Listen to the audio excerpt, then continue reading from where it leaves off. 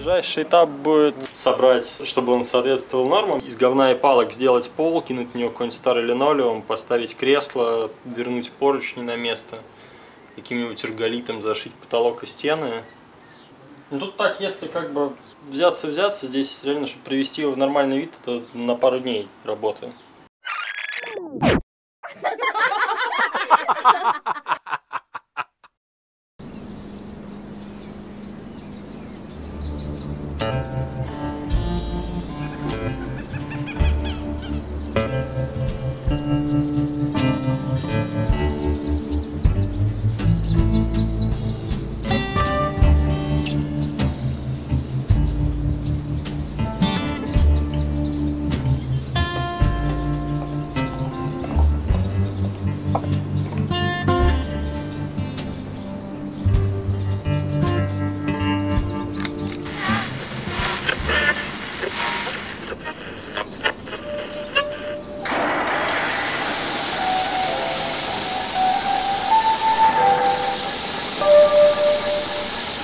Москва. Московское время 8 часов. Передаем утренний выпуск последних известий. Заседание Центрального комитета КПСС, Верховного Совета Союза СССР и Верховного Совета, посвященное 60-й годовщине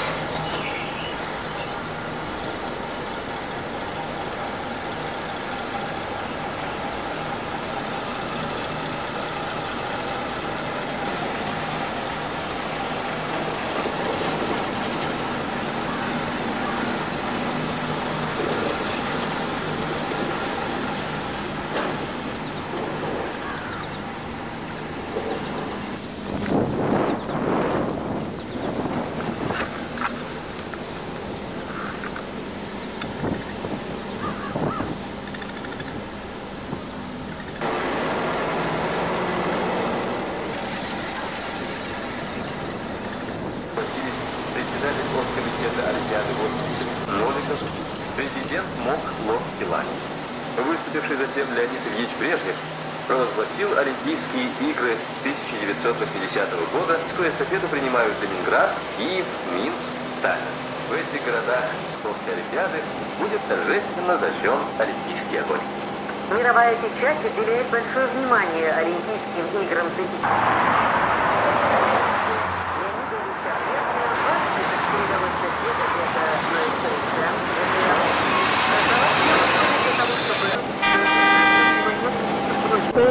Касающиеся запрещения вооружия, были тесно увязаны с той частью доклада, где говорится, что Советский Союз работает по своей обороне, но не добивается и не будет добиваться Леонид Ильич Брежнев заявил, что Союз придает большое значение с такими странами, как Франция, ФРГ, теми большими и малыми государствами иной вообще чертовой агентства Франции. Политбюро ЦК КПСС, кандидатов члены Политбюро и секретари ЦК КПСС, секретари ЦК Компартии Союзных Республик, Президиума торжественного заседания, посвященного 6 октября, возложили венок к мавзолею Владимира Коммунистической партии Советского Союза, вождя мирового коммунистического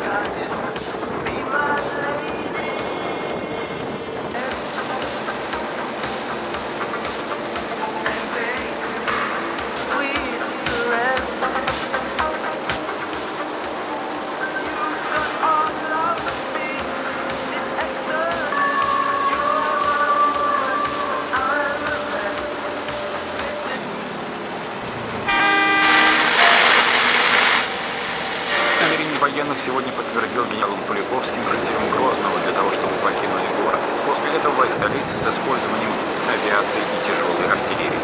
Никто пока не отменял ультиматум в Грозный вчера вечером. Вероятно, что ни Тихомиров, ни в подвалах людей генерал ответил «Это».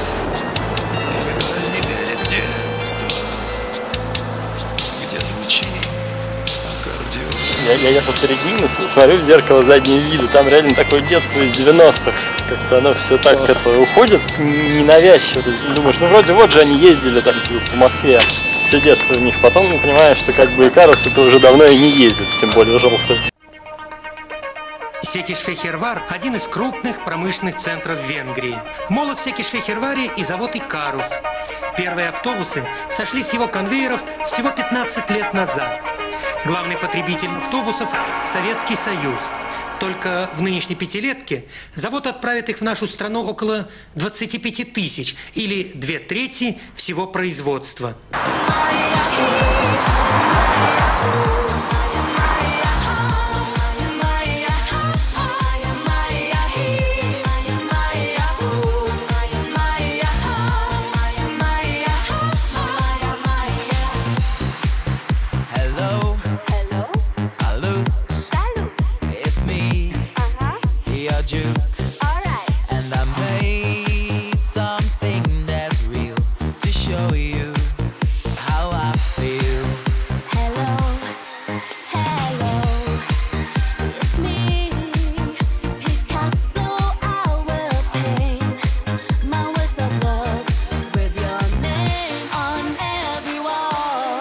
Быстро добраться из одной части города в другую, совершить увлекательную экскурсию, попасть в пригороды и другие города помогает общественный транспорт.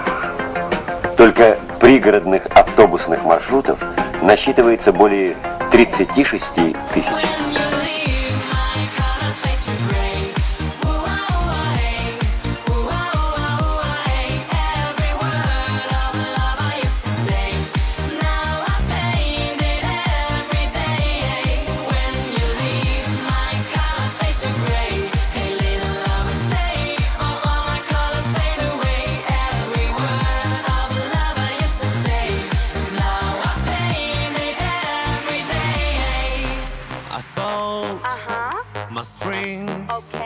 My songs Oh no. and dreams.